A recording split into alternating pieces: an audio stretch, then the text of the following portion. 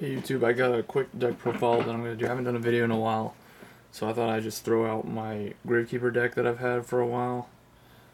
Uh, never got around to doing a deck profile on this one, because uh, it's an old deck, deck type that's been around for a long time. But here, here's my Gravekeeper's build. I'm not going to do an extra deck.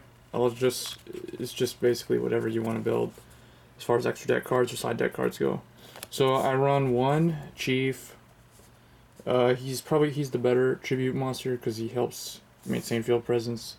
Basically, you tribute summon him, and then you special summon a Gravekeeper from the graveyard when Necrovalley's on the field.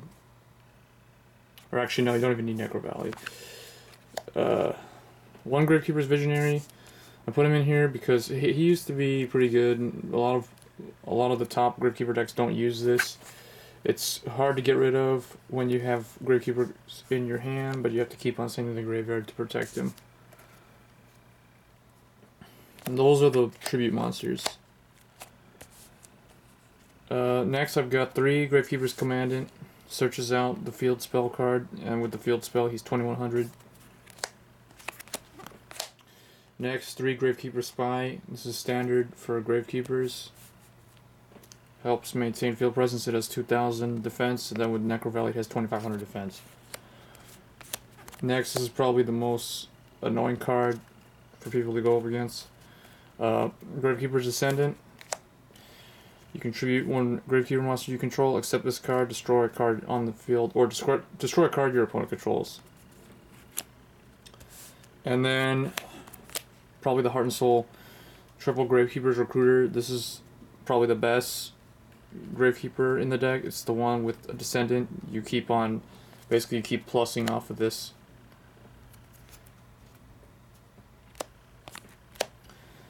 And then I put in two Gravekeeper's Guard because they're really good against Synchros and Exceeds.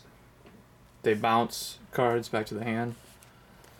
So, and then the last Gravekeeper is one Gravekeeper's Assailant. I put this in here. Uh, it's just one.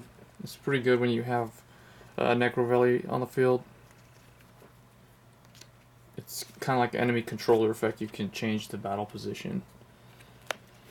And then to protect, because this deck is very dependent on field on the field spell, uh, I run two Malefic Stardust Dragon just to help protect it and keep it on the field. And then I put in one to Tsukuyomi, uh, just just to try it out in here, see if it's good. And then the last monster, I put one Gale just to allow Gravekeepers to run Synchro monsters like Arcanite Magician. And that rounds out the monster count. So for spells, triple Necrovalley, obviously this you're gonna run three of this field spell for for Gravekeepers. And then one Royal Tribute, uh, because sometimes I don't like to get rid of my uh, my own monsters, so I just put one.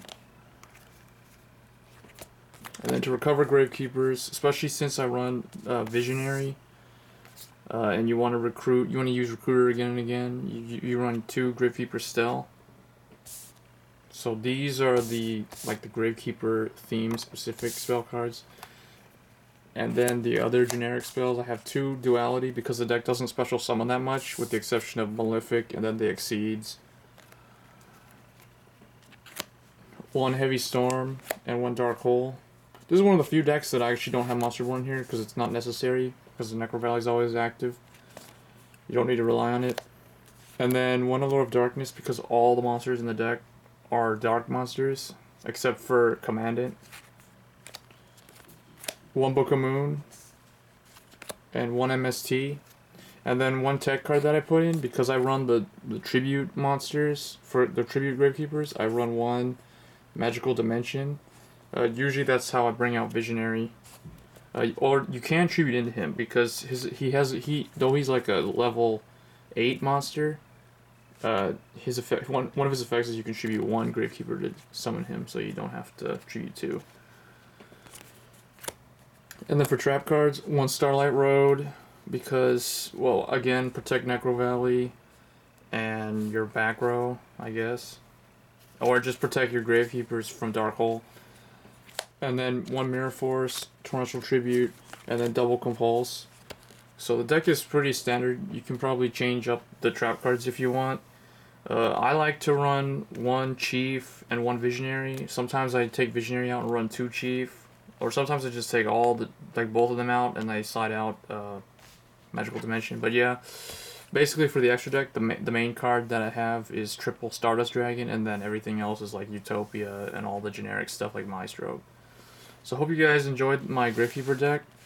Uh, rate, comment, subscribe. Let me know what you think about it. Let me know how I can improve it. I, it's Gravekeeper is not a whole lot you can change. It's pretty standard these days. Uh, the only main thing is you just wouldn't run uh, the big monster Visionary. But yeah, thanks for watching, guys. Uh, see ya.